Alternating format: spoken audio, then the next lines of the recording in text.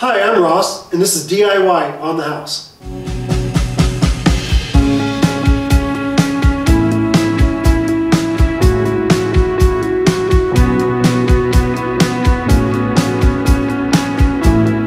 Today we are going to have a real good time. Real good time. Right on. Today we're going to actually build a, uh, a dining room table out of half of this reel end. Uh, this is actually a full reel, cable spool, uh, cable reel. Um, and these are a couple other projects I've done. Uh, these are my son's for his back patio. One is a coffee table, and then the other one is just a, uh, a half table that fits against the wall.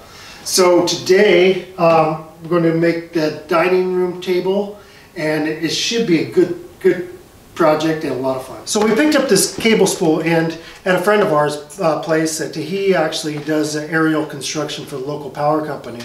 Um, but luckily, we uh, you can find these on Craigslist.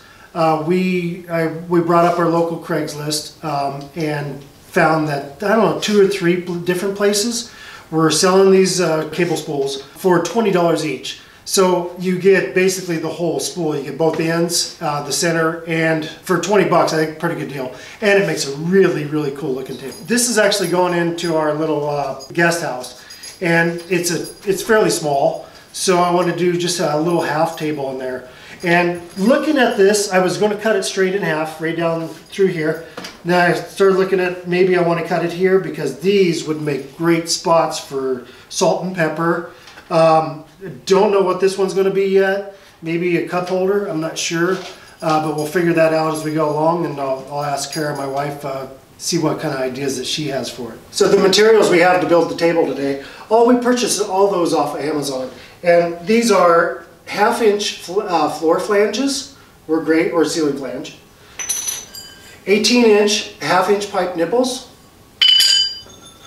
12 inch half inch pipe nipples and just a couple half inch tees. And then I just got various tools, my uh, cordless driver, uh, a couple uh, uh, channel locks, screws, sawzall, and of course my gloves and my seeing glasses, which are also for protecting my eyes, and a little bitty sander.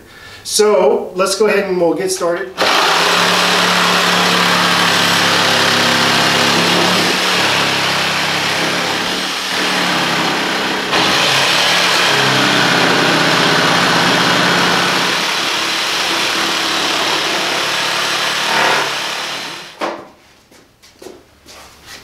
Our tabletop cut and I'm going to go ahead and make the frame first and then fit the top on top of the frame. Okay, so my plan is, I've never built one of these so it's just going to be kind of learning along. I'm going to do this, I'm going to put a T here, T here, and a T over here, and I'm going to, oh I did need four, one second, I'll be right back. Uh, and this one will be here, and then I'll screw all the uprights. So I'll assemble it, you'll see how it's working uh, as we go, uh, but it's fairly, actually really simple uh, um, frame.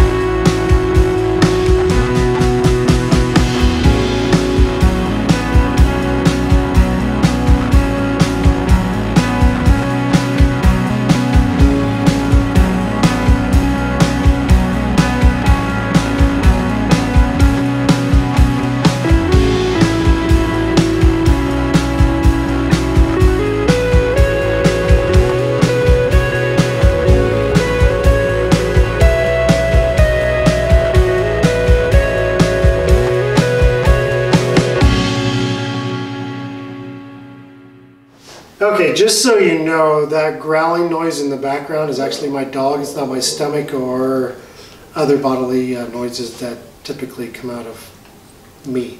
so it's just little, our little dog, uh, little dog socks. And our dog Lee has got him blocked, so he's a little ticked off, I think. As you can see, this is actually super simple. And if you have somebody that has kind of a vintage look or industrial look to the house, um, these are just really cool looking.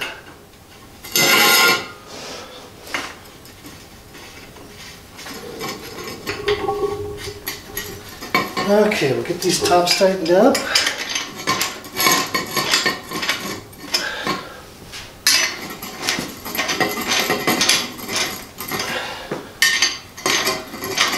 Okay, we'll uh, put the top on.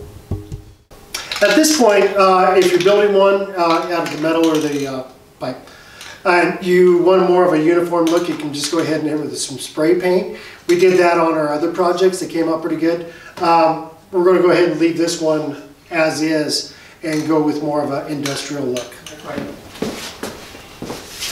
So I've got everything built as far as the framework, got the top on, and I'm going to go ahead and attach the top and uh, get everything secured down. And then um, this is actually uh, for my daughter.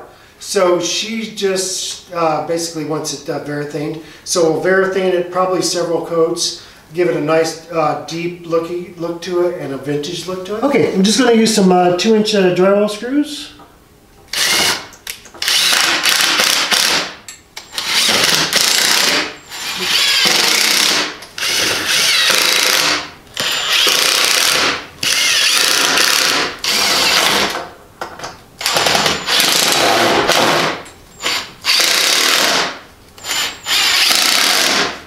Okay, so some of these nails um, from the construction of the cable reel are poking out. So I'm gonna go around, I just got my nail set and I'm just gonna go and knock those in a bit. Okay, got all the nails knocked down um, to where one of them is fairly smooth. And we're gonna just take a uh, small sander, may use an orbital one as well, and uh, I'm gonna, just gonna have a real good time at doing that and I'm not spooling.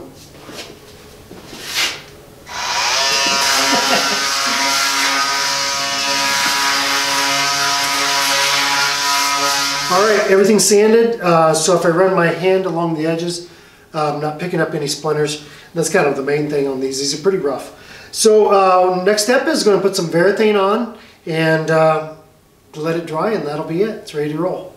So there we have it all completed. Uh, we Varathane the top. It has a couple coats on it and uh, that should do just fine for, uh, for any spills or anything. Uh, as far as on the uh, floor, the, we have that flange and we're going to put uh, felt on the bottom of that because I don't want, in our guest home, it's got um, a linoleum floor and I don't want it to actually cut or affect that. So on yours you can do whatever if it's on tile or concrete, no big deal. On any soft material, uh, may want to put some padding under it so it doesn't scratch it up. As always, if you enjoyed the project, I just appreciate a thumbs up. Uh, leave a comment if you'd like, and uh, we're actually going to be doing another one of these, a nightstand, on another video, which uh, should turn out really cool. And uh, also the subscribe button. Uh, we have a lot of uh, videos on our channel. If you'd like to check them all out, just subscribe. So we appreciate you watching, and thanks so much.